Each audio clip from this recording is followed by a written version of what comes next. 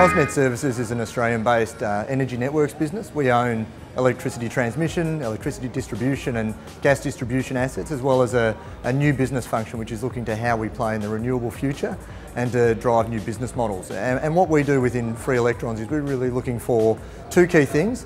One is ways to make our core business more efficient and more relevant as the energy future unfolds before us.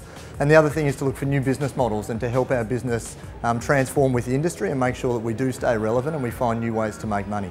From the first cohort of startups in Free Electrons, we worked with uh, a company, DataGlen, extensively around helping us uh, analyse energy consumption data and to help make our, um, our unregulated offerings more efficient for sharing energy and to try to build out new business models that enable uh, you know, a, a transactive energy future. We also worked with Aperio, who are a data security business, and we, we did a pilot with them. And then after a, few years, or, or two years of, um, of work, we actually decided to go back and work with Aperio again because we were so happy with the initial trial.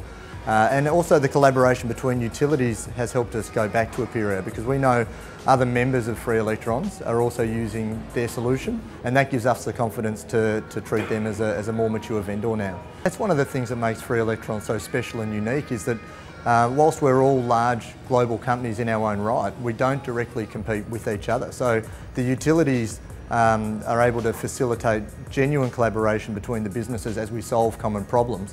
And then we work with the same group of startups to help us each learn and then decide about the ways that we tackle the future um, in an aligned way. And that's, that is something which makes Free Electrons a really unique program and it's why it's such a great opportunity for startups to be part of. Be being a, a, heavily focused networks business, AusNet Services is really interested in ways to help us run our networks more efficiently.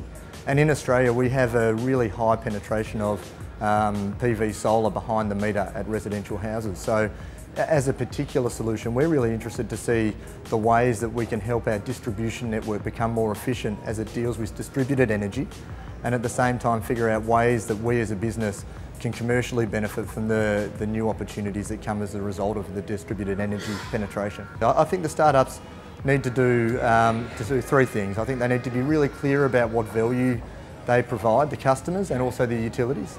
The, utili uh, the startups need to be very clear about the problems that they're solving as well and they also need to be really genuine about um, what they're actually trying to do as a business and what their mission is. And I think if you can do those three things, they're really well placed to, to do well in the program. You go into programs like this not really knowing 100% how they're going to unfold, but the key thing is to see what the world's doing as part of the, the new energy future and to see what business models are evolving, what problems uh, startups are trying to solve and then to try to figure out ways to, to integrate those solutions into one, our, new, our core business as well as our new business.